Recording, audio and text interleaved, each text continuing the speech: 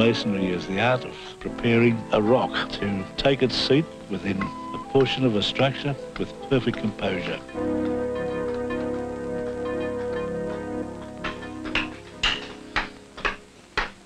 This stone, as the date stone uh, shows, was erected with the building in 1891.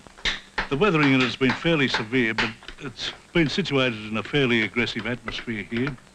The presence of the powerhouse belching out smoke nearby didn't help much at all. Sydney also has an acid rain condition in its atmosphere, so that over the period of 90 years that, of its existence, it's reached a fairly sad state of decay.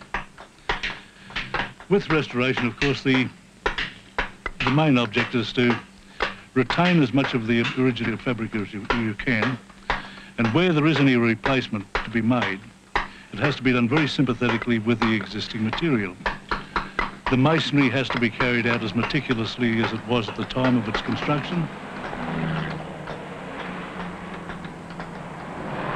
It's in uh, a grey stone from Pyrmont, and in order to match the grey stone, we've used Wondabyne grey stone.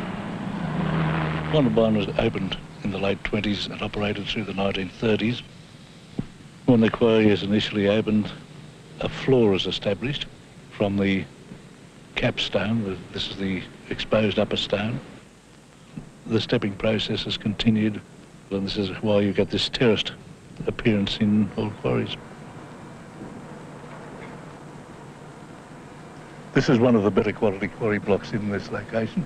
It contains about overall two cubic metres of uh, stone, of which about 60% of it is uh, usable material. It's a grey stone. Uh, it's come from one of the deeper lifts and could not be expected to weather to anything but a, a grey stone uh, over a, over a large period of years. There is a flaw up in that corner that's quite obvious where those lines appear. They're mica reeds and could cause structural failure in an overhanging block of stone and will be cut out of this block. Uh, but basically it is a good quarry block. Channeling machine, it's virtually a drill.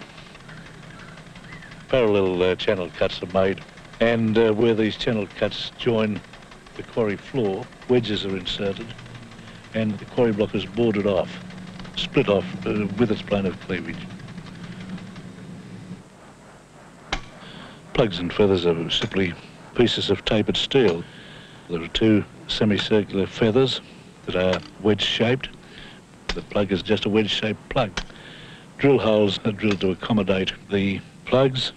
The feather is inserted in the top and driven in so that the stone is forced apart to reduce it to a more easily handled size.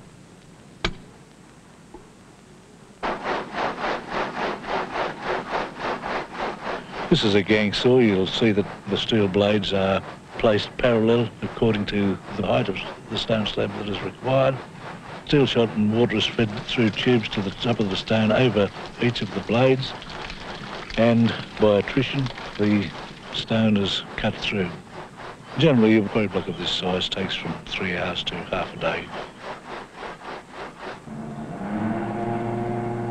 Quarry blocks are generally uh, quarried to about five to six tonnes.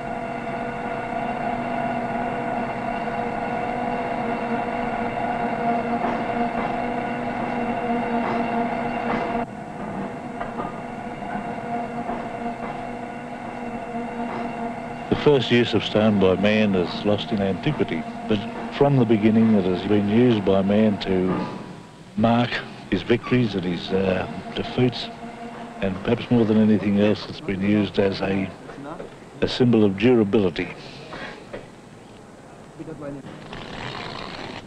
Basic geometry plays a very important part in masonry. The Greeks were great geometricians.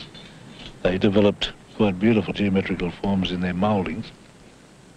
The Romans, who were the engineering masons, developed the semicircular arch, and the medieval masons, in plane geometry, created their tracery using equilateral triangles, acute angle triangles, and obtuse angle triangles. The development of groined vaulting and domes and pendentives introduced more complex geometrical practice in solid geometry.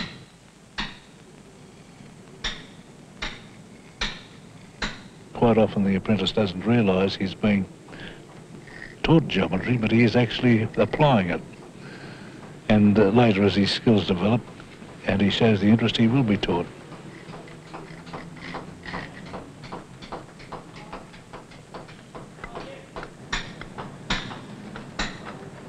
The more complicated stones here will take five to six weeks of a mason's continuous labour to complete.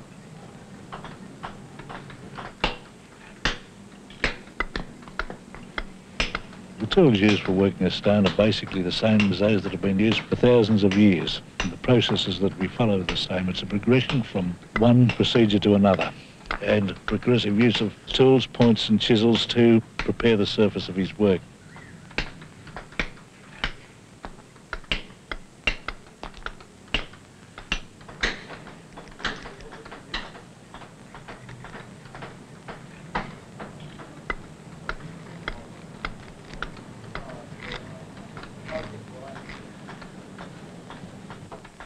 Firstly, the unwanted material is removed with a pitching tool. This is followed by the preparation of a draft, followed by punches or points as they're sometimes called, which are finely drawn steel points used with a steel hammer.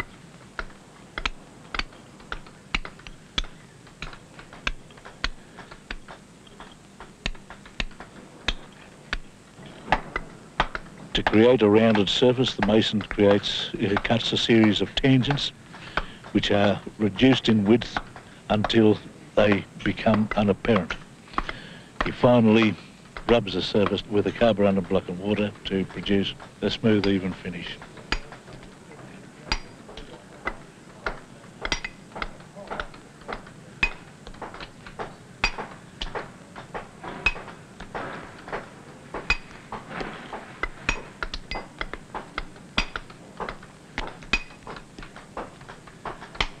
The punch is used to further reduce the surface towards its ultimate finish, followed by the claw chisel, which again produces a finer surface. Each tool is used to remove marks left by the previous tool. You've got, about, a day behind him. Yes, yes. Yeah, because I started I, uh, behind him too, you know. Eh? You reckon started- you'll catch him? No, a bit hard because he's, he's, he's a good block. He's a- Since the Department of Public Works engaged upon a program of uh, intensive restoration of its public buildings, they've built up what now is the largest team of banker masons in the Commonwealth.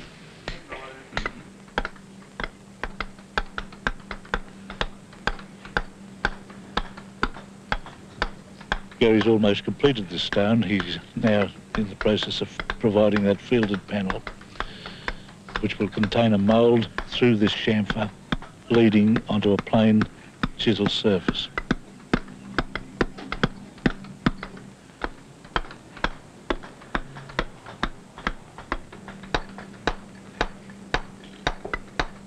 This is a mallet-headed boasting chisel, which is used to bring the stone to its ultimate form. The work can be left off the chisel or later rubbed to produce a smooth, even surface in which no boaster marks are apparent.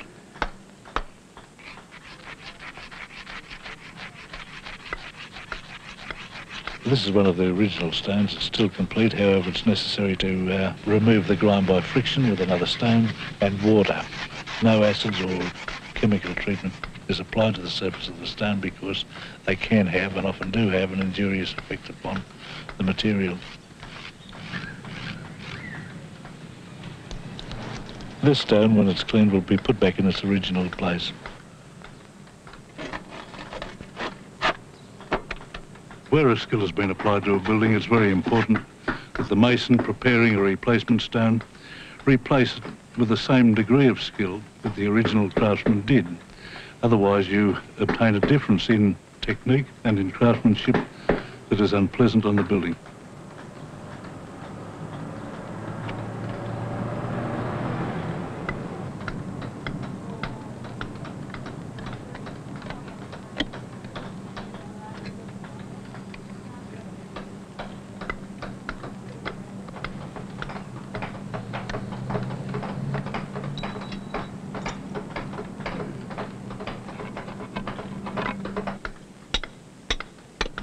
Removing eroded stone for restoration, it has to be carried out fairly carefully to avoid damage to the surrounding material which is to remain. It's done either by hand, using uh, steel hammers and punches, or occasionally by using pneumatic Hey, tools. Malcolm, Fine, thanks. All right. just let me check that. All right. Two and a half, that's good. Need a bit more there, huh? Yeah. Let me go and get that. This stone is an octagonal gable finial. Originally it had a um, another stone on top of it. Its identity has been lost. Yeah, we are searching for a detail for it.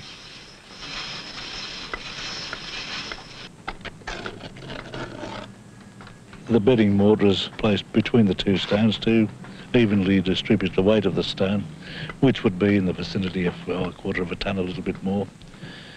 The adhesive quality of the mortar isn't important, and the building was held together by the weight of the weight of the stone itself. Bonded so that uh, little movement would occur. We've been working on Sydney Tech for about three years, and the interesting part about it, as far as we're concerned, is that there's no job in Sydney that contains the same degree of complex masonry, and this is why it's of particular interest to apprentices who are would never in the normal course of events ever obtain experience in this type of work at such an early stage of their careers. Well, for some reason, Alf, they never proceeded with the carving that was indicated up in this gable. This is where they've got the brickwork, isn't it? Yeah. Generally, though, they've kept fairly rigidly to the plan that was drawn in 1890. My philosophy of stonemasonry is one that I hold in common with every stonemason that I know. We wouldn't want to be anything else. It's a satisfying craft and a man is still required to produce a lasting and permanent reminder of his work in a building of some beauty. Today, the preservation of the stone buildings of earlier centuries has become an important and very significant thing, I believe, as a reminder to people of an earlier and in many instances a more stable age and perhaps gives a feeling of solidity to a disturbed society.